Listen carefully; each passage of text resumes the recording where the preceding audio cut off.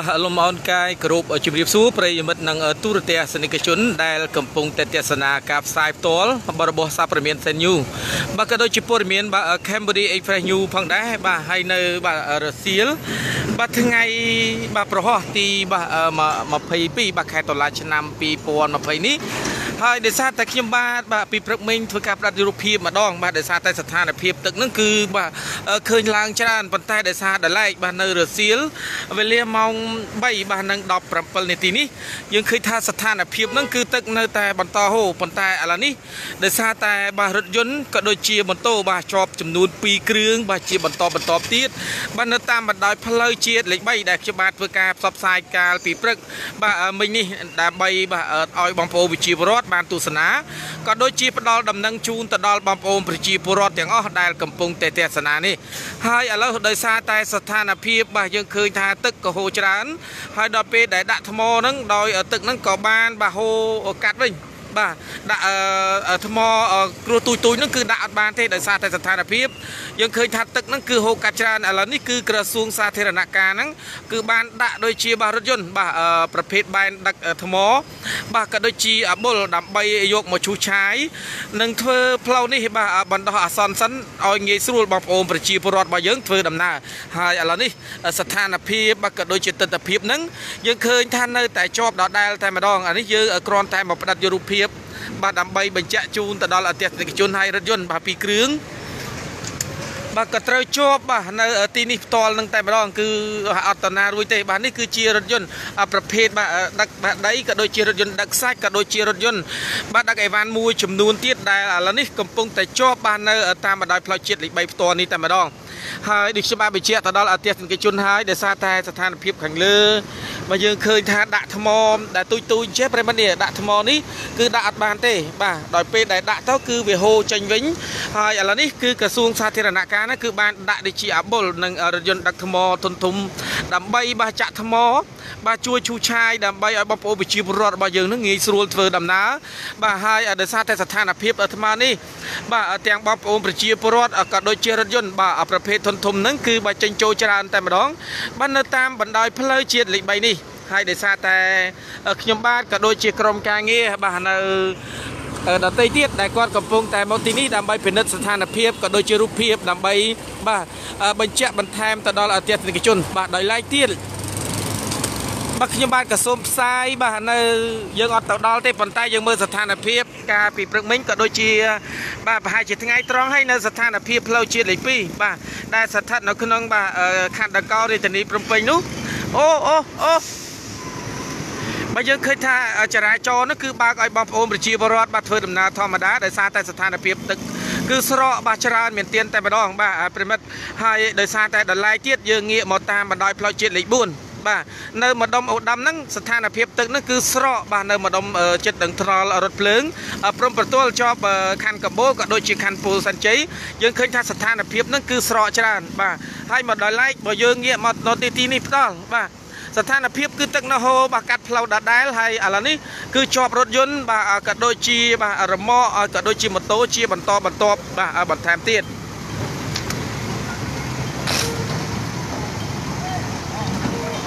បាទនេះគឺជាកម្លាំងចិត្តហើយក៏ដូចជាកងកម្លាំងបាទសមត្ថកិច្ចមូលមូលដ្ឋានក៏ដូចជាចរាចរណ៍បាទជួយបាទអូសទេដើម្បីឲ្យបងប្អូនប្រជាពលរដ្ឋរបស់យើងងាយស្រួលផងដែរ ហើយបន្តិចទៀតប្រហែលជាស្អែកអីប្រហែលជាវានឹងងាយស្រួលហើយបាទប្រិមត្តព្រោះដោយសារតែឥឡូវនេះគឺក្រសួងសាធារណការនឹងលោកកំពុងតែដាក់បាទនៅបាទអបុលដើម្បីកាយដៃនៅទីនេះវាធ្ងន់ពេញ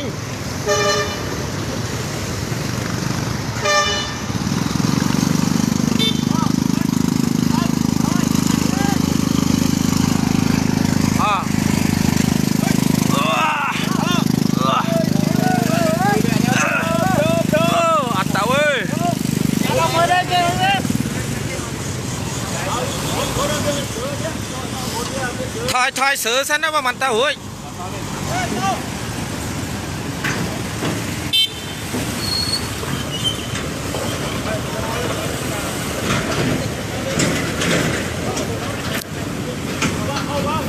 បាទប្រិមិត្តទូរទស្សនិកជនបាទតាមដានទាំងអស់គ្នាហើយដល់ឡែកយើងឃើញហើយស្ថានភាពក៏ដូចជារូបភាព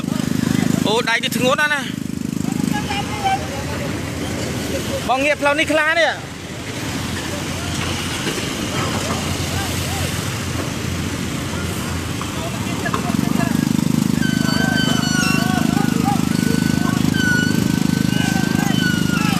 រួយបើប្រិមិត្តរមាក់នេះធ្ងន់មែនទែនយកសើសិនមកថោ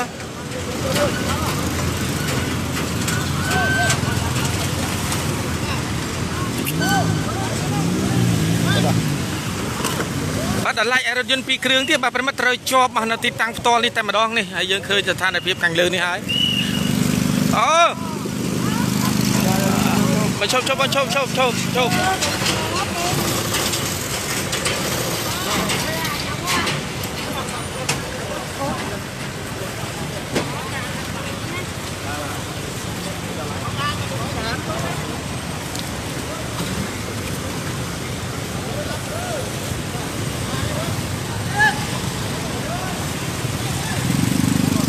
បាទប្រិមិត្តយើងឃើញហើយឥឡូវនេះយើងមើលទិដ្ឋភាព អូធ្ងន់មែនល្មកនេះអឺដៃសុនមកអាកូនកូនមកដល់អាកូនគេតាមនេះដល់អពុំមកបាទប្រិមិត្តឥឡូវនេះគឺជាប់ជាបន្តបន្តហើយដោយសារតែដាក់អាគ្រូទូចនឹងគឺអត់បានទេដាក់ខ្លាំងរឹតតែជាប់ខ្លាំងហើយឥឡូវនេះគឺរថយន្តបាទពីរគ្រឿងបាទជាប់នៅទីនេះហើយនឹងម៉ូតូក៏ដូចជាបាទរមាក់ផ្សេងផ្សេងបាទដែលជាប់បាទនេះខុងហ៎បងទុក ទុកយូរអត់ជ្រៅបាទអូយតង់តិចហ៎បងបាទប្រិមិត្តនេះអូអារថយន្តធំធំមួយណៅណាអូអានោះទៅផុតសិនណា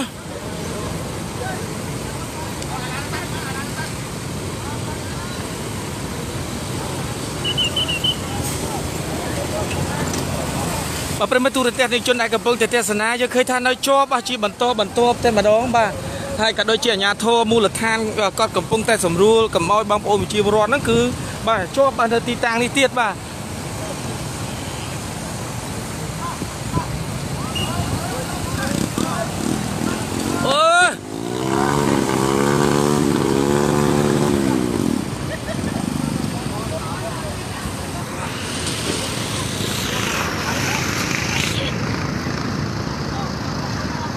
អូ បាទប្រិមិត្តហើយនេះគឺជាបាទរូបភាពដែលយើងកំពុងតែផ្សាយផ្ទាល់តែម្ដងបាទបើយើងមកផ្លូវនេះគឺមកអត់រួចទេបាទដោយសារតែស្ថានភាពបាទកន្លែងនេះគឺដាក់ថ្មបាទអឺបីអាបុលពីព្រឹកមិញដាក់ទៅរឹតតែហូរចុះឡើងបាទប្រិមិត្តយើងមើលទាំងអស់គ្នានេះហើយក៏បាទបងប្អូនវិជាវរដ្ឋរបស់យើងធ្វើដំណើរនេះគឺច្រើនបាទទាំងទៅទាំងមកបាទហើយរថយន្តពីរគ្រឿងនេះត្រូវជាប់នៅទីតាំងនេះជាស្ថាពរតែម្ដង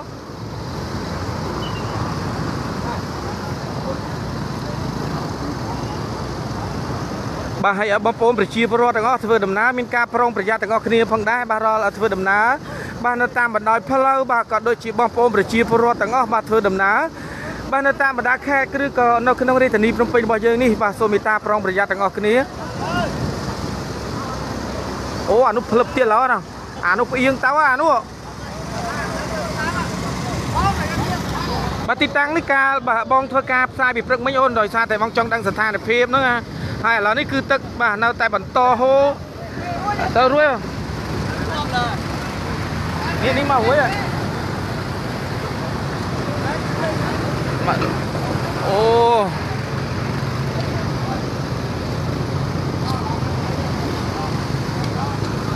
បាទឥឡូវនេះគឺលើពីព្រឹកមិញទៀតបាទយើងមើលដែលស្ថានភាពដែលបងប្អូនប្រជាពលរដ្ឋរបស់យើងនេះគឺរថយន្តជាប់នៅគាំងទីនេះពីរគ្រឿងរកកន្លែងទៅមុខអត់រួញបាទ ហើយជាប់ជាបន្តបន្តតែម្ដងហើយស្ថានភាពនេះ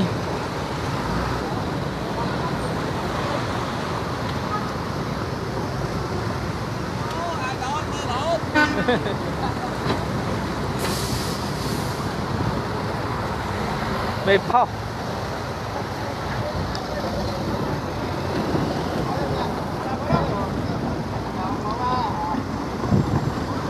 បាទហើយប្រិមិត្តយើងមើលដោយសារតែដាក់ពីព្រឹកមិញហ្នឹងគឺអត់បាទអូ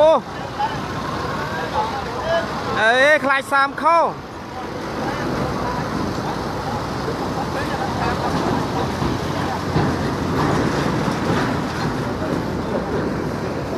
បាទហើយបើសិនជាបងប្អូនប្រជាពលរដ្ឋធ្វើដំណើរនេះយើងមើលនៃបាទកន្លែងដែលអាជ្ញាធរមានសមត្ថកិច្ចបាទគឺខ្លងដើម្បីចំណាំ ហើយក៏ដូចជាកន្លែងដែលអាជ្ញាធរមានសមត្ថកិច្ចកំពុងតែចង្អុលបង្ហាញឲ្យបងប្អូនប្រជាពលរដ្ឋធ្វើដំណើរបំបីកុំឲ្យជាប់បាទហើយដោយសារតែរថយន្តនេះដោយសារតែគាត់ខុសផ្លូវបាទរថយន្តពីរគ្រឿងបាទប្រភេទដឹកដីនិងរថយន្តប្រភេទដឹកអីវ៉ាន់ជាតិបានទេបងជាប់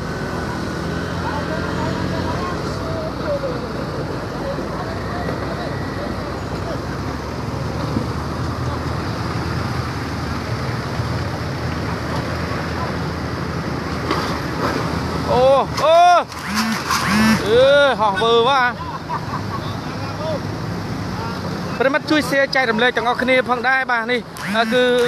បាទទីតាំងដែលយើងកំពុងតែផ្សាយផ្ទាល់តែម្ដងហើយឥឡូវនេះបាទយករថយន្តមកទាញបាទរួចបាទដោយសារតែរថយន្តធុនធំបាទឆ្លងកាត់អត់កើតទេដោយសារតែទី1ស្ថានភាពដល់ផ្លូវនេះកំពុងតែបាទទឹកហូរច្រើនហើយមានបាទស្ថានភាពគឺដាច់ផ្លូវទៀត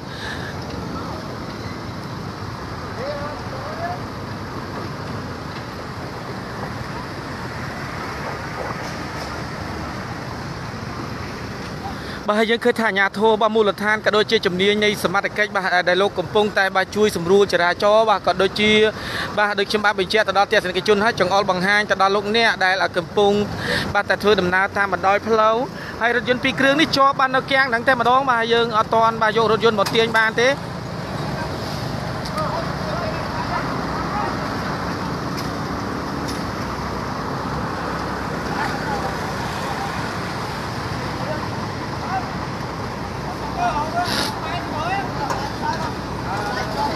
ទៅទៅទៅឡើងឡើង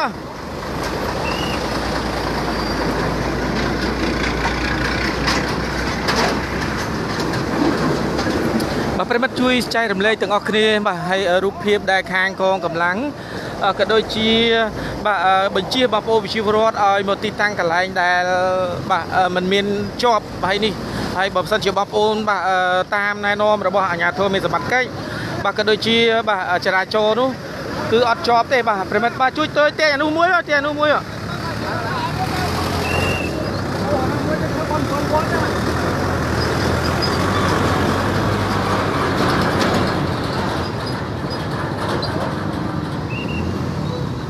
អូអានេះជាងពីព្រឹកមិញទៀតពីព្រឹកមិញអត់សូវអីហ្មងទេបាទបាទនេះថយមួយ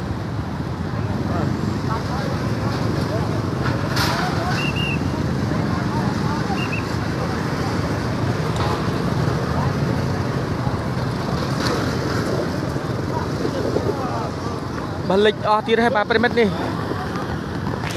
បាទទីតាំងប្រិមិត្តតាមបណ្ដោយផ្លូវ2ដល់7អើសូមអធិស្ឋានតាមបណ្ដោយផ្លូវបាទជាតិលេខ3ក្នុងបាទសង្កាត់ បាទចំចៅតែម្ដងបាទខណ្ឌពូសិនជ័យចំចៅ3ហើយដោយសារតែទីនេះគឺខាងក្រសួងសាធារណការណាក៏បានយកថ្មចាក់កន្លែងនេះបាទចាក់ក៏អត់នេះដែរបាទប្រិមិត្តចាក់មិនកើតបាទចាក់ក៏នៅតែហូរដែរបាទបើស្ថានភាពទឹកពីលើមកនោះបើជិះម៉ូតូទៅបានជិះឲ្យប្រិមិត្តមើលទាំងអស់គ្នាតែម្ដងនេះបាទជាងពីព្រឹកមិញពីព្រឹកមិញអត់សូវអីហ្មងទេបាទពីព្រឹកមិញហ្នឹងគឺល្មមទេប៉ុន្តែដល់មកពេលនេះបាទយើងឃើញថាជាប់ច្រើនតែម្ដង ប៉ុន្តែស្ថានភាពហ្នឹងគឺហូរបាទនៅដដែលទឹកហ្នឹងអត់ទាន់បាទស្រាកស្រានឬក៏ថយចុះនៅឡើយទេ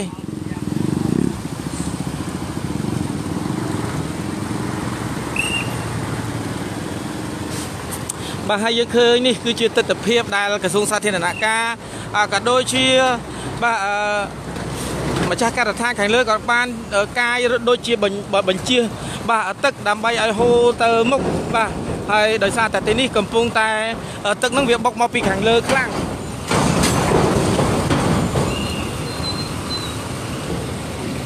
ប៉ុន្តែបើយើងមើលស្ថានភាពយើងជំលាទឹកទៅខាងនោះក៏ទៅអត់រួចដែរបាទដោយសារតែទី1ហ្នឹងគឺទឹកហ្នឹងវាបុកចូលតែកន្លែងហ្នឹងផ្ទាល់ហ្នឹងតែម្ដងនេះបាទបើសិនជាដាក់ទំនប់អីមួយគឺដើម្បីបញ្ជាទឹកទៅខាងនោះវិញក៏ពិបាកដែរព្រោះអត់មានកន្លែងដែលនេះមានតែខាងក្រោមនេះទេបាទយើងមើល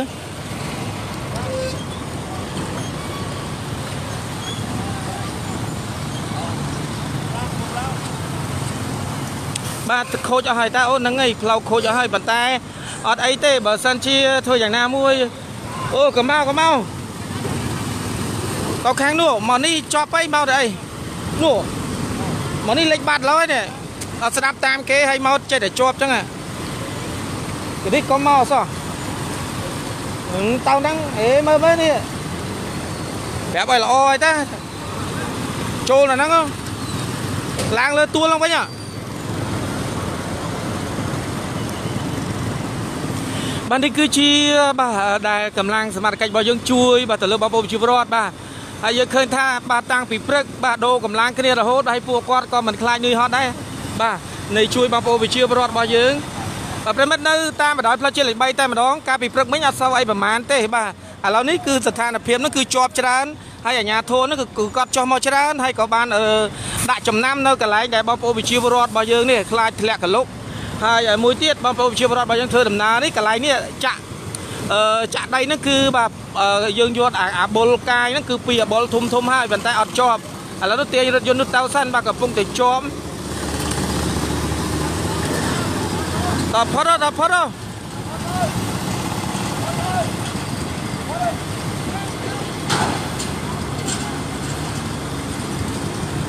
បាទយើងឃើញតែជាប់ពិបាកប្រិមិត្តដោយសារតែបងប្អូនជីវរដ្ឋរបស់យើងធ្វើដំណើរច្រើន បាទទាំងចេញទាំងចូលតែម្ដងហើយអាជ្ញាធរគាត់ក៏ខំជួយដែរបាទហើយយើងឃើញហើយនេះគឺជាទស្សនភាពរូបភាពដែលយើងកំពុងតែផ្សាយបាទបងប្អូនវិជារដ្ឋបាទបើសិនជាថ្មនេះស្ថានភាពជប់បន្តិចទៀតរត់តែស្ទះបាទប្រិមិត្តហើយយើងឃើញហើយ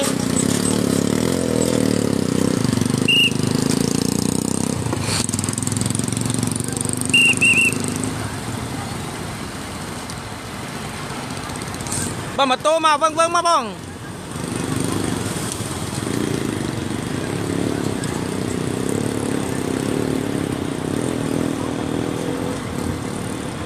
ជាប់ច្រើនណាបាទប្រិមិត្តហើយដល់ឡៃទៀតយើងមើលនៃស្ថានភាពដែលអឺបាទក្រសួងសាធារណការបាទប្រិមិត្តគាត់បានដាក់អបុលដើម្បីនេះអឺចាក់ដីបាទដើម្បីបាទទឹកបង្ហូរនោះគឺមកពីខាងនោះច្រើនយើងមើលនៃទស្សនភាព បាទដើរចង់ដួលបាទប្រិមិត្តឥឡូវនេះគឺក្រសួងសាធារណការក៏ចាក់ដីសិនព្រោះដោយសារតែស្ថានភាពឥឡូវហ្នឹងគឺថ្មធំធំបាទដើម្បីទប់ស្កាត់ទឹកហើយដល់ពេលទប់ស្កាត់ទឹកទឹកក៏នៅតែជ្រាបមកដែរព្រោះដោយសារតែស្ថានភាពហ្នឹងបុកមកពីខាងលើខ្លាំងហើយយើងអត់ទាន់តពិនិត្យមើលនៅខាងលើទេព្រោះដោយសារតែទឹកច្រើនពេកបាទហើយយើងឃើញថានោះគឺស្ថានភាពដែលបាទទឹកហ្នឹងគឺបានបុកហូរមកខាងនេះខ្លាំង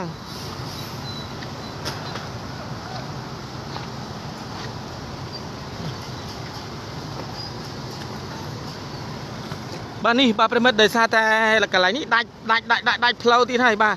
ទុកតែបន្តិចទៀតគឺត្រូវតែដាច់ទៀតហើយក៏សូមឲ្យអាជ្ញាធរពាក់ព័ន្ធផងដែរអរគុណផងដែរដែលដោយសារតែ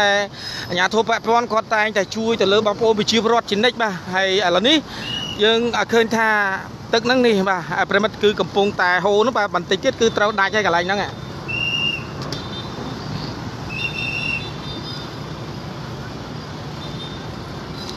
បាទនឹងកាយវាឲ្យហូរហើយបង បាទប្រិមិត្តយើងឃើញថាទឹកនោះបាទហើយយើងស្ថានភាពបាទហើយដោយសារតែឥឡូវហ្នឹងគឺបងប្អូនប្រជាពលរដ្ឋរបស់យើងធ្វើដំណើរច្រើនបាទបើសិនជាបើយប់ឡើងសង្ស័យបាទប្រិមិត្តយើងគ្រាន់តែសន្និដ្ឋានទេបាទប្រហែលជាយប់ឡើងប្រហែលជាអាចនឹងបាទបាក់អាគៀនហ្នឹងបាទហើយដោយសារតែទឹកហូរច្រើននោះ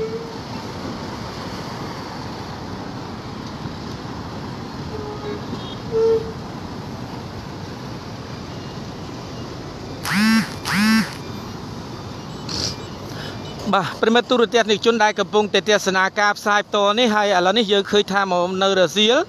បាទថ្ងៃប្រហោះទីបាទ22ខែតុលា2020នេះដោយក្រសួងសាធារណការបានបាទយកបាទនៃអបុលដើម្បីបាទដាក់ថ្មដើម្បីទំនប់ទឹកសិនបាទព្រោះដោយសារតែយើងឃើញថាស្ថានភាពទឹក បាទគឺហូរមកពីខាងលើច្រើនហើយដោយសារតែយើងទៅខាងមុខនោះគឺអត់តាន់កើតបាទដោយសារតែទឹកហ្នឹងគឺច្រើនអាចយើងចូលម៉ូតូទៅបាទវានឹងអាចបាទលិចម៉ូតូបានហើយនៅក្នុងស្ថានភាពទីនេះយើងមើលទៅគឺចូលតែមួយកលៈនេះទេបាទមួយកលៈនេះគឺស្ថានភាពហ្នឹងគឺទឹកវារៀងជ្រៅ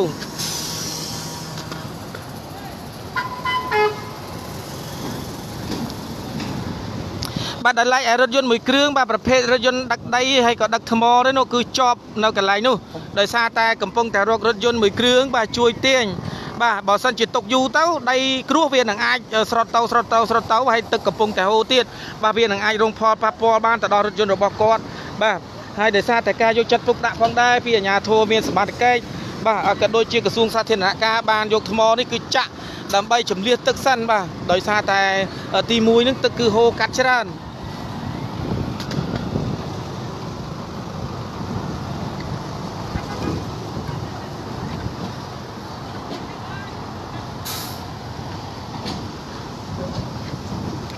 បាទប្រិមិត្តយើងដើរទៅមើលនៃស្ថានភាពបាទទឹកខាងលើនោះបាទយើងឃើញថាច្រើនបាទហើយមិនដឹងថានៅទីនោះ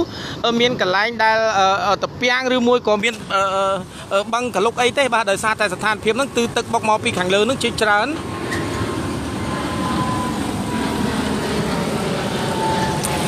បាទហើយបងប្អូនប្រជាពលរដ្ឋទាំងអស់ធ្វើដំណើរដោយបាទប្រុងប្រយ័ត្នទាំងអស់គ្នាបាទហើយដោយសារតែបងបងដែលគាត់បើករថយន្តនេះ បាទគឺត្រូវបានអាជ្ញាធរដូចជាសមត្ថកិច្ចបាទចរាចរណ៍ហ្នឹងលោកកំពុងតែបាទជួយសម្រួលនិងជំនះ បាទរកទីតាំងណាមួយដែលពួកគាត់ងាយស្រួលកុំឲ្យជាប់បាទបើសិនជាម៉ូតូជាប់ច្រើនបាទបើសិនជារថយន្តប្រភេទបាទធុនធំបាទក៏ដូចជារថយន្តបាទផ្សេងផ្សេងទៀតយើងឃើញថាស្ថានភាពពួកគាត់បាទអត់មានជាប់អីទេប៉ុន្តែដោយឡែកដូចជារមាក់ដូចជារថយន្តប្រភេទបែនដឹកដីដឹកខ្សាច់ធំធំនេះបាទវានឹងអាចជាប់បានទី1វាស្រត់ទៅក្នុងហើយម៉ូតូនោះគឺឡើងអត់រួចទៀតបាទយើងមើលស្ថានភាពបាទទស្សនវិជ្ជាដែលខ្ញុំបានកំពុងតែផ្សាយនេះគ្រាន់តែផ្ដល់ព័ត៌មានមួយហើយណាមួយទៅដូចជាតាមដានរឿងអញ្ចឹងប្រិមិត្តដែលខ្ញុំបាទចង់ដឹងក៏ចង់តាមដានថាតើក្នុងស្ថានភាពនេះគឺស្រកយ៉ាងណាដោយឡែកនៅក្នុងរងមូលចោមចៅផ្ទាល់បាទគឺទឹកស្រកអស់ហើយបាទសូមបញ្ជាក់ទៅដល់បងប្អូនវិជាប្រដ្ឋបន្តិចបាទយើងធ្វើដំណើរពីរាជធានីភ្នំពេញតាមរវមូលចំចៅនោះស្ថានភាពទឹកហ្នឹងគឺស្រកអស់ហើយបាទងាយស្រួលឲ្យបងប្អូនវិជាប្រដ្ឋបាទធ្វើដំណើរបានប៉ុន្តែដោយឡែកទៀតយើងឆ្ពោះទៅខាងផ្លូវជាតិលេខ4ដូចជាទៅកម្ពូលទៅឧត្តមហ្នឹងស្ថានភាពទឹកនៅរៀងដូចច្រើននោះគឺនៅ បាទអឺព្រំបន្ទាល់ខណ្ឌពោធិ៍សែនជ័យក៏ដូចជាជាប់នឹងព្រំបន្ទាល់កម្ពូលបាទហើយបើសិនជាទឹកហ្នឹងគឺនៅតែស្រកដែរអត់មាន បាទស្ថានភាពឡើងក៏អត់ឡើងដែរបាទ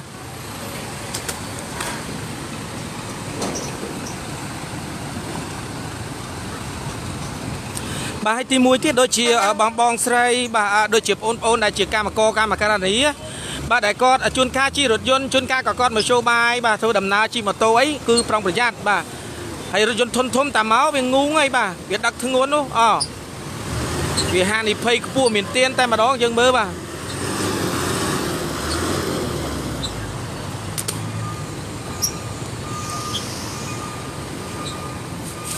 បាទហើយយើងងាកទៅរកបាទអឺសូមបញ្ជាក់បាទបងប្អូនប្រជាពលរដ្ឋទាំងអស់យើងងាកទៅខាងទឹកដី បាទដូចជាបាទសង្កាត់ស្ពានថ្មបាទសង្កាត់រលួសសង្កាត់ទៀននិងសង្កាត់កងណយនោះយើងឃើញថាដោយសារតែការបាទបង្ហោះតាមเพจមួយបាទផ្សេងផ្សេងទៀតដោយព័ត៌មានផ្សព្វផ្សាយនោះយើងឃើញថាស្ថានភាពទឹកហ្នឹងគឺស្រកបាទហើយបងប្អូនហ្នឹងគឺបើកចរាចរណ៍បានវិញហើយបាទដោយសារតែតម្លៃផ្លូវជាតិលេខ2ដល់ឡែកផ្លូវជាតិលេខ4បាទយើងឃើញថាស្ថានភាពទឹកក៏ស្រកអន់ថយខ្លាំងដែរបាទប៉ុន្តែដោយឡែកនៅទីនេះដោយសារតែស្ថានភាពទឹកគឺនៅហូរច្រើន ហើយក៏អាជ្ញាធរពាក់ព័ន្ធក៏ដូចជាបាទខាងក្រសួងសាធារណការហ្នឹងក៏គាត់ព្យាយាមដើម្បីបាទយកថ្មបាទក៏ដូចជាបាទយកនៃបាទរថយន្តបាទអាបុលដើម្បីធ្វើយ៉ាងណាឈូសឆាយដើម្បីឲ្យបងប្អូនប្រជាពលរដ្ឋធ្វើដំណើរងាយស្រួលសិនបាទព្រោះដោយសារតែស្ថានភាពប្រហែលថ្ងៃនេះយើងឃើញថាបងប្អូនប្រជាពលរដ្ឋបាទរៀងលំបាកបន្តិចហើយដោយសារតែយើងឃើញថាអាជ្ញាធរពាក់ព័ន្ធបាទមូលដ្ឋានផ្សេងផ្សេងកំពុងតែបាទជួយសម្រួលនៃចរាចរណ៍នេះ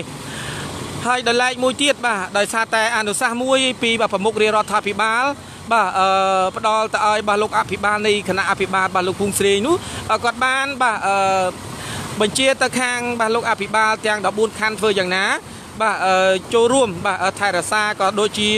បាទពិនិត្យនៃស្ថានភាពនៅទីតាំងកន្លែងណាមួយដែលពុករងផលប៉ះពាល់នេះឲ្យបានបាទប្រិមិត្តកុំឲ្យកន្លែងណាមួយដែលប៉ះពាល់ទៅដល់បងប្អូនជីវរដ្ឋ ក៏ដូចជាបាទរងគ្រោះទៅដល់បងប្អូនវិជារដ្ឋផ្សេងផ្សេងទៀតបាទហើយឥឡូវនេះយើងឃើញថាស្ថានភាពកន្លែងផ្សេងផ្សេងផ្ទះបងប្អូនខ្លះនៅតាមទឹកដីសង្កាត់ស្ពានថ្មហ្នឹងយើងឃើញថាស្ថានភាពគឺអាចបាទចូលនៅបានហើយបាទកន្លែងខ្លះទៀតគឺនៅមិនទាន់ចូលនៅបានហើយកន្លែងខ្លះទៀតក៏នៅតែបាទទឹករៀងស្រកច្រើនហើយក៏សូមអរគុណផងដែរទៅដល់អាជ្ញាធរពាក់ព័ន្ធបាទក៏ដូចជាបាទសមត្ថកិច្ចមូលដ្ឋានគ្រប់ជាន់ថ្នាក់ ក៏ដូចជាប្រមុខរាជរដ្ឋាភិបាលរបស់យើងកំពុងតែយកចិត្តទុកដាក់បាទចំពោះបងប្អូនប្រជាពលរដ្ឋទាំងបណ្ដាខេត្តក៏ដូចជានៅរាជធានីភ្នំពេញបាទដោយសារតែគណៈខ្នែងវិទានហើយក៏សូមអរគុណទៅដល់បាទសប្បុរសធម៌ដូចជាបាទអាដាមលោកជំទាវបាទផ្សេងផ្សេងបាទមួយចំនួនទៀតដែលគាត់បានបាទផ្ដល់ជាបាទថវិកាក៏ដូចជាគ្រឿងបរិភោគផ្សេងផ្សេង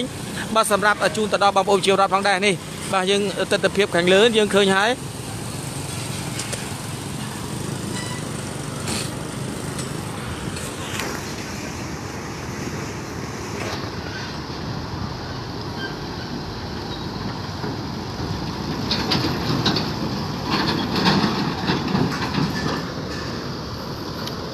បាទហើយបន្តិចទៀតបាទប្រិមិត្តយើងឆ្ពោះទៅខាងបាទទឹកដីខាងដង្កោបាទផ្លូវ217នោះយើងនឹងផ្សព្វផ្សាយម្ដងទៀតដើម្បីផ្ដល់ជាព័ត៌មានមួយសម្រាប់បងប្អូនប្រជាពលរដ្ឋទាំងអស់តើស្ថានភាពក៏ដូចជារូបភាពបាទយើងអាចឆ្លងកាត់ឬបានឬក៏យ៉ាងណានោះបាទយើងនឹងអាចផ្ដល់ព័ត៌មានហើយឥឡូវនេះគឺទីតាំងដើម្បីបាទគេហៅថាខ្លោងបាទដាក់ចំណាំដើម្បីឲ្យបងប្អូនប្រជាពលរដ្ឋរបស់យើងស្រួលធ្វើដំណើរ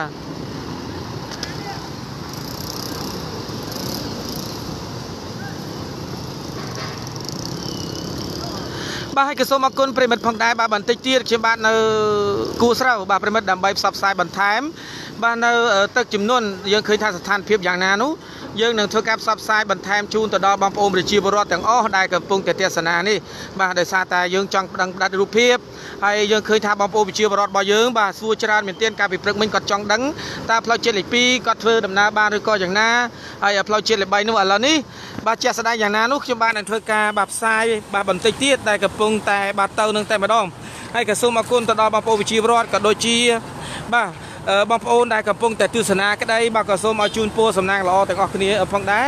បាទរាល់ការធ្វើដំណើររបស់បងប្អូនប្រជាពលរដ្ឋទាំងអស់ដែលកំពុងតែទស្សនានេះហើយយើងមើលในមុននឹងបញ្ចប់នោះយើងមើលនៃស្ថានភាពទឹកកន្លែងនេះបន្តិចបាទប្រិមិត្តដោយសារតែហូរច្រើន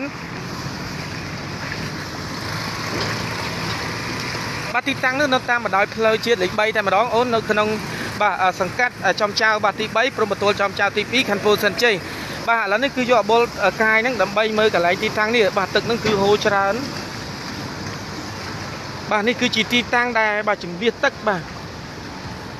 បាទប្រហែលជាអាចបាក់ទៀតណាប្រិមិត្តយើងមើលនេះប្រព័ន្ធលូ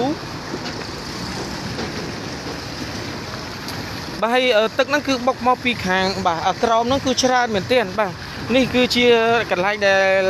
បងប្អូនវិជាប្រវត្តិឆ្លងកាត់ប៉ុន្តែដោយឡែកទៀតបើសិនជា ទឹកនៅតែបន្តហូរយើងអាចសន្និដ្ឋានថានឹងអាចដាច់កន្លែងនេះប៉ុន្តែដោយសារតែក្រសួងសាធារណការក៏ដូចជាបាទសមត្ថកិច្ចមូលដ្ឋានបាទខាងទឹកដីបាទខណ្ឌពោធិ៍សែនជ័យនេះយើងឃើញថាមានការយកចិត្តទុកដាក់នៃទីតាំងកន្លែងដែលរងផលប៉ះពាល់នេះជួយមកទឹកនេះបុកច្រើនមែនទៀនហ្មងណា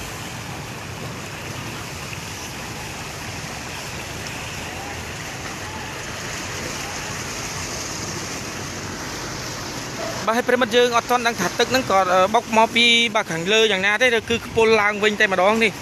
បាទហើយយើងឃើញថាទឹកហ្នឹងគឺបុកកន្លែងហ្នឹងហើយគឺឆ្ពោះទៅនេះទាំងតែម្ដងនេះ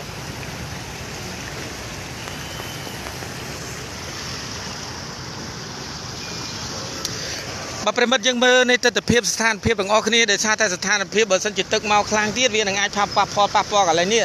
បាទហើយអានេះគឺជារូបភាពមួយ ទៅមករួចអូនអត់អីទេប៉ុន្តែកន្លែងនេះជ្រៅបន្តិចចុះដើរបានបាននេះចូលកន្លែងនេះមកអត់អីទេ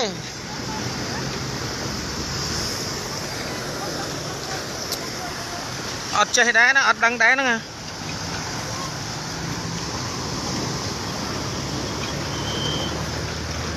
បាទប្រិមិត្តយើងមើលនៃទស្សនវិជ្ជាអស់គ្នាបាទមកនេះមកនេះ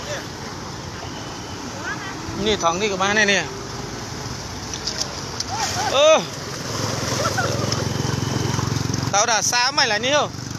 មកត្រង់អត់អីទេបង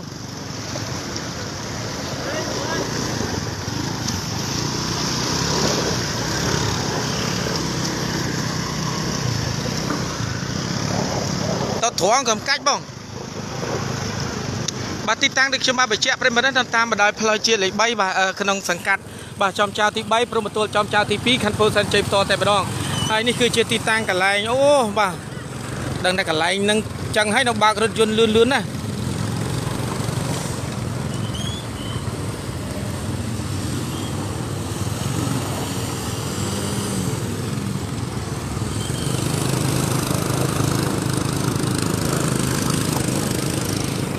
បាទប្រិមិត្តយើងមើលនេះទឹកដែលកំពុងតែហូរច្រើននេះបាទ ហើយបើសិនជាមកល្ងាចទៀតយើងអត់ដឹងថាយ៉ាងណាទេបើវាផលប៉ះពាល់ខ្លាំងដែរនេះតត្រង់បងកំកាច់តាមតាមជើងទៅតាមជើង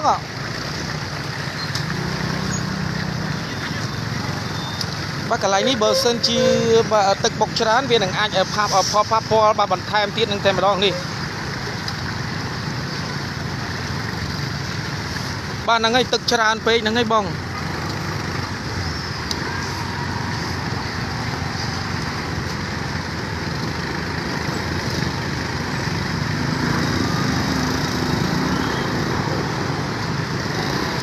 តត្រង់ហ៎បង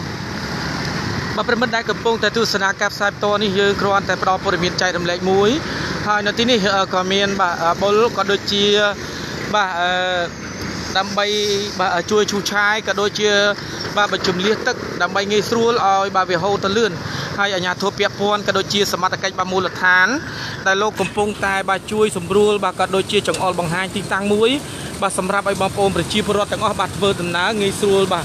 កុំឲ្យបាទលិចលូជាបាទផលប៉ះពាល់ដូចជាម៉ូតូហើយក៏ដូចជារថយន្តរបស់បងប្អូនប្រជាពលរដ្ឋនេះតត្រង់ហ៎បង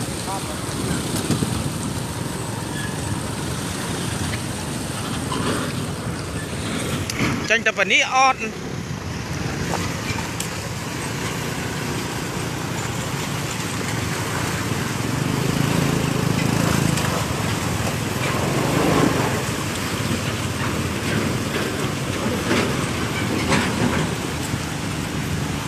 ហើយយើងមើលថានៅតាមបណ្ដោយផ្លូវនេះកំពុងតែបាទដាក់បាទដូចជាអាបុលក៏ដូចជាអត្រាដើម្បីកាយឈូសឆាយរោគផ្លូវដើម្បីឲ្យបងប្អូនជីវរដ្ឋបាទធ្វើដំណើរហើយនៅទីនេះយើងមើលនៃទស្សនភាពក៏ដូចជាស្ថានភាពយើងឃើញថារងផលប៉ះពាល់ច្រើនបាទនៅតាមបណ្ដោយផ្លូវបាទជាតិបាទលេខ3នេះបាទហើយដោយសារតែទីនេះយើងឃើញថាទឹកហ្នឹងគឺកំពុងតែបុកឡើងច្រើនព្រួយទេបង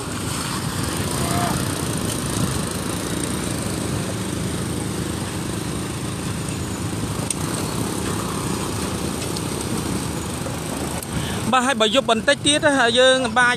យើងអាចចម្លៀសទៅកន្លែងណាមួយ បាទដែលរកផ្លូវណាងាយស្រួលបានបាទប្រិមិត្តដូចជាវៀងតាមបាទវែងស្រេងយើងបុកទៅខាងបាទវត្តព្រៃស្ពឺអាហ្នឹងដូចជាអត់អីទេបាទហើយឥឡូវនេះគឺខាងអាបុលហ្នឹងគឺយើងកាយពីនោះមកដើម្បីឲ្យទឹកហ្នឹងវាហូរងាយស្រួលបាទឲ្យវាលឿន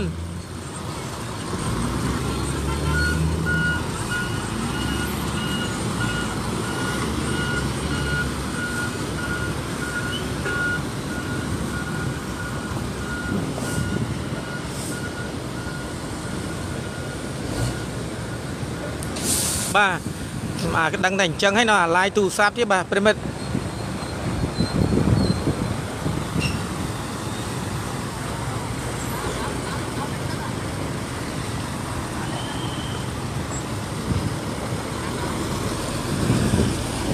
ប្រិមត្តទូរទស្សនិកជននេះគឺជាបាទរូបភាពដែលយើងកំពុងតែផ្សាយផ្ទាល់តែម្ដងហើយដោយសារតែអាជ្ញាធរពាក់ព័ន្ធ ក៏ដូចជាសមត្ថកិច្ចមូលដ្ឋានលោកកំពុងតែបាទចង្អុលបង្ហាញហើយបងប្អូនប្រជាពលរដ្ឋទាំងអស់ធ្វើដំណើរដោយមានការប្រុងប្រយ័ត្នទាំងអស់គ្នាឲ្យបានខ្ពស់បាទរាល់តាមបណ្ដាខេត្តឬមួយក៏រាជធានីភ្នំពេញហើយបាទយើងក៏លេខទៅមើលខាងរាជធានីភ្នំពេញបើយើងឃើញថាស្ថានភាពនោះទឹកគឺមានបាទថមថយច្រើនមានទៀនតែម្ដងបាទដើមអាចជីបានទៅបាទតើដើមបាននោះហ្នឹងហើយផ្លូវបាទរងមូលចំចៅគឺស្ថានភាពហ្នឹងគឺអឺអឺស្រកអស់ហើយអូនហ្នឹងហើយ នៅវងមូលចំចៅគឺស្រកអស់តែម្ដងយើងអាចទៅបានណាហ្នឹងហើយ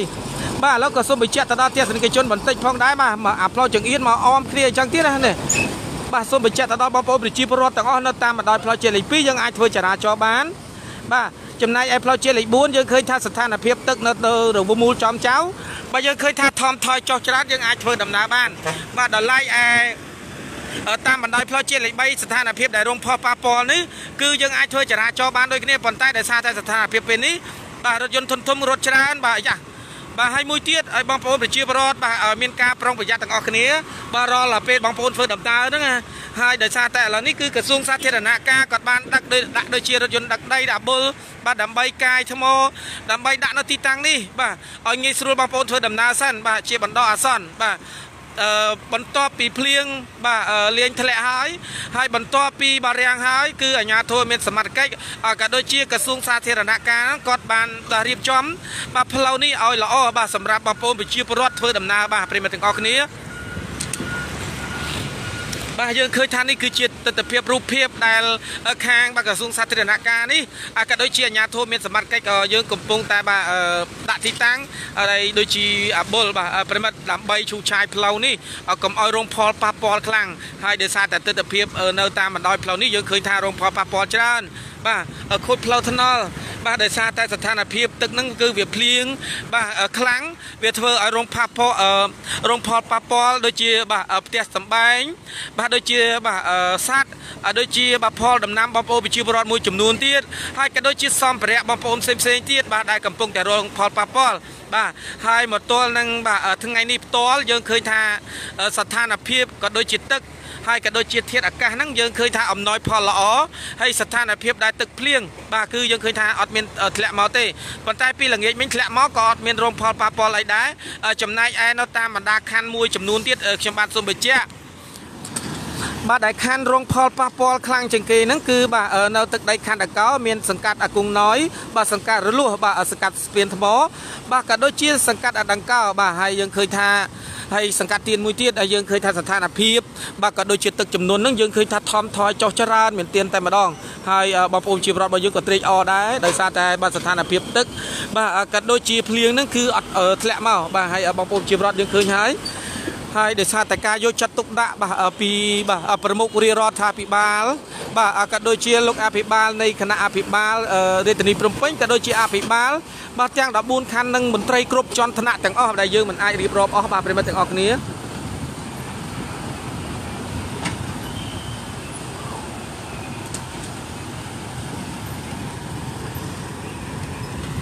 នឹងឯងបងបើសិនជាយើងអត់យកមកឈូសឆាយទេបងប្អូនជីវរដ្ឋរបស់យើងពិបាកនឹងធ្វើដំណើរបាទហើយដោយសារតែរថយន្តហ្នឹងគឺ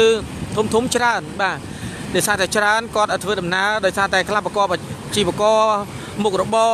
រឬមួយក៏បងប្អូនជាបរិវត្តខ្លះគឺត្រូវតែធ្វើដំណើរអញ្ចឹងណាព្រោះដោយសារតែទី1គាត់កតាបកិច្ចរបស់គាត់បំពេញការងារ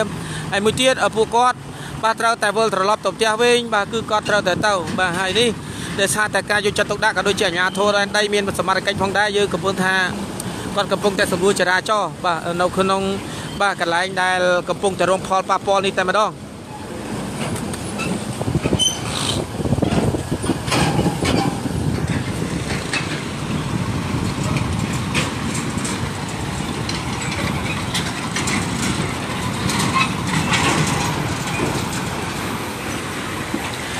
បាទអរគុណផងដែរបាទប្រិមិត្តសម្រាប់ឱកាសតាមដានរបស់បងប្អូនវិជាបរដ្ឋទាំងអស់បន្តិចទៀតជួបគ្នាផងដែរខ្ញុំបាទទៅនឹងផ្លូវជាតិលេខ2យើងទៅមើលស្ថានភាពអេចូលឡានដល់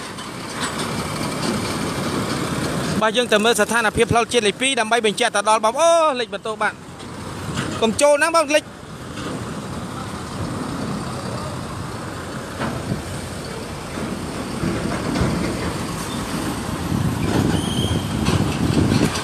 បាទហើយយើងបាទប្រិមិត្តយើងមើលទស្សនវិជ្ជារូបភាពទាំងអស់គ្នានេះហើយក៏សូមអរគុណទៅដល់អាជ្ញាធរពាក់ព័ន្ធផងដែរបាទដែលលោកតែងតែជួយបាទទៅលើបងប្អូនប្រជាពលរដ្ឋក៏ដូចជាសម្រួលនៃចរាចរណ៍បាទហើយដោយសារតែរថយន្តដឹកដីនេះគឺកំពុងតែជាប់បាទដឹកថ្មតាមមើលប្រិមិត្តគ្រួបចិត្តនេះដឹកថ្មតែម្ដងហ្នឹងបាទគឺបាទជាប់នៅកន្លែងនេះតែម្ដង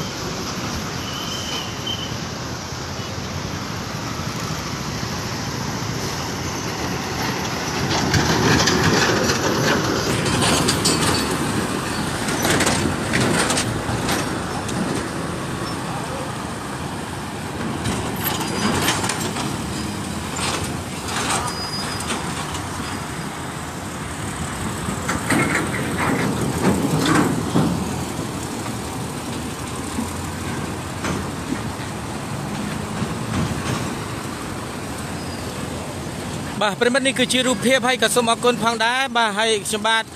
បាទក៏សូមបញ្ចប់ត្រឹមនេះសិនបាទហើយទៅផ្លូវជាតិលេខ2បាទឲ្យបងប្អូនទាំងអស់បានដឹងតើស្ថានភាពទឹកក៏ដូចជាស្ថានភាពផ្លូវយ៉ាងម៉េចយើងនឹងអាចបញ្ជាក់បងប្អូនបន្ថែមដែលបន្តិចទៀតនេះដែលយើងកំពុងតែឆ្ពោះទៅបានឡាយបន្តទៀតទាំងតែម្ដងបាទប្រិមិត្តទាំងអស់គ្នាហើយក៏សូមសរសើរដល់អាជ្ញាធរមានសមត្ថកិច្ច បាទប៉ុស្តិ៍នគរបាលរដ្ឋបាលសង្កាត់ចំចៅ2ក៏ដូចជាចំចៅទី3បាទក៏ដូចជាខណ្ឌពោធិ៍សែនជ័យនេះដោយសារតែបាទទាំងព្រឹកទាំងយប់ទាំងថ្ងៃតែម្ដងបាទប្រិមិត្តដែលគាត់កំពុងតែជួយសម្រួលបាទក៏ដូចជាចរាចរណ៍ទៅដល់រថយន្តប្រភេទធុនធំបាទក៏ដូចជាបាទរថយន្តបាទផ្សេងផ្សេងទៀតដែលកំពុងតែបាទធ្វើចរាចរណ៍នៅតាមបណ្ដោយផ្លូវនេះហើយយើងឃើញថាស្ថានភាពហើយក៏ដូចជារូបភាពនេះយើងឃើញថាខ្នះខ្នែងមែនទែនហើយក៏ដូចជាការចង្អុលបង្ហាញ របស់អាជ្ញាធរមានសមត្ថកិច្ចដើម្បីឲ្យបងប្អូនប្រជាពលរដ្ឋងាយស្រួលចូលទៅទីតាំងកន្លែងដែលមានសុវត្ថិភាពនឹងតែម្ដងបាទពីខ្ញុំបាទក៏សូមបញ្ចប់ត្រឹមនេះចាក់ស្ដែងបន្តិចទៀតទៅធ្វើការ live នៅផ្លូវជាតិលេខ2បន្តទៀតអរគុណនិងគោរពលា